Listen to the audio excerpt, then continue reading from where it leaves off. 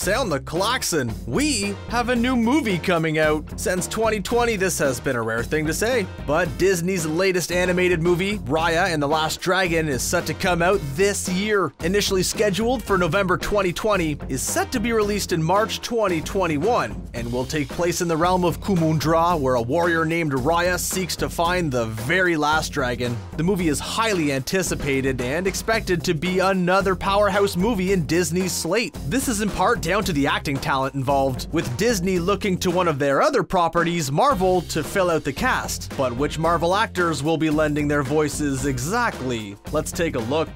Let's start off with one of the movie's biggest stars, the actor behind the character of Sisu, Nora Lum, better known by her professional name, Awkwafina. The farewell and Crazy Rich Asians star is continuing her hot run of form and is definitely becoming a favorite amongst the House of Mouse. Sisu is the dragon in question in the movie, with the character being a water dragon that has the ability to transform into a human, but needs Raya's help so she can once again become her true dragon self. The character will reportedly lean heavily on Awkwafina's dramatic and comedic talents, while sticking to the fun, family-friendly Disney principles. But if you're thinking, yeah, that's all well and good, but this is an MCU list and I don't recall seeing Awkwafina, you would have a fair point. That's because she is technically a future MCU star, with her set to appear in the upcoming Shang-Chi and the Legend of the Ten Rings, which, if everything goes to plan, should release in July. Awkwafina will play Shang-Chi's friend Katie, who, along with Shang-Chi, fall into the dangerous world of martial arts as they become embroiled with the Ten Rings terrorist group, which should finally lead to the introduction of the one and only Mandarin, the real one this time. Safe to say that there are exciting times ahead for Awkwafina, Disney, and Marvel fans.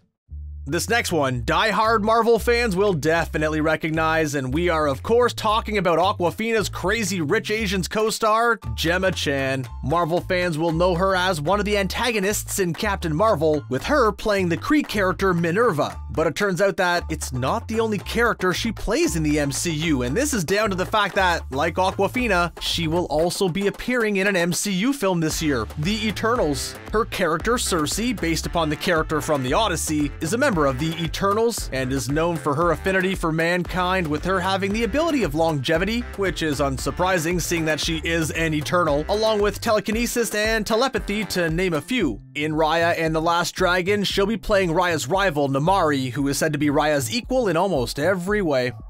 Even the more casual of MCU fans, especially if they have seen Doctor Strange, will likely recognize this next actor and his work in the MCU, Benedict Wong. Wong has appeared in The Martian, Prometheus, and as Prime in the IT crowd. Shout out, by the way, to any fellow IT crowd fans out there. But he's probably best known as the Wizard and conveniently named Wong in Doctor Strange, The Avengers Infinity War, and Endgame. But you wanted more? Wong is known for his physical performances and commanding voice, which makes him the perfect choice to play the giant Tong in Raya and the Last Dragon. Wong will be returning to the MCU in the upcoming Doctor Strange in the Multiverse of Madness, and hopefully one day he'll get his own Prime from IT Crowd spin-off show, although that is admittedly unlikely. Now, this actor admittedly is yet to appear in the MCU and instead appears in the broader world of Marvel properties, but we're gonna be cheeky and use him anyway. We're talking about the Lost and 24 actor Daniel Dae Kim, who will be playing the role of Raya's father in the upcoming Disney movie. He's also appeared in two separate Marvel movies as well. He played the part of a military personnel in Eric Bana's 2003 Hulk movie, and yes, I'm trying to forget about that movie too, as well as Doc Ock's assistant Raymond in Sam Raimi's brilliant Spider-Man 2. Although, with the new Spider-Man rumors and the fact that Tobey Maguire might be appearing in it, maybe Spider-Man 2 will be part of the MCU.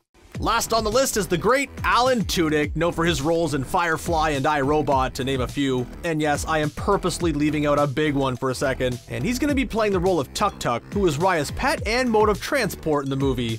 Tudyk has also appeared in Marvel properties, playing the part of Luke in Deadpool 2 and Alistair Krei in Big Hero 6. Like Daniel Dae Kim, if rumors are correct, Deadpool 3 will be a part of the MCU, therefore, potentially also making him an MCU character. But as we said, there is a big Tudyk role we left out. As well as Marvel, Alan Tudyk has appeared in the Star Wars world, which of course is another Disney property as K2SO. And the movie's protagonist, Kelly Marie Tran, has also appeared in the Star Wars universe as Rose in Last Jedi and Rise of Skywalker. Outside of Disney and Marvel, but back into the superhero world, Ross Butler, who voices Leader of the Spine, appeared in the DCEU movie Shazam. Alan Tudyk also appears as Mr. Nobody in Doom Patrol, as Oliver Queen in Young Justice, and both Clayface and the Joker in the Harley Quinn animated series.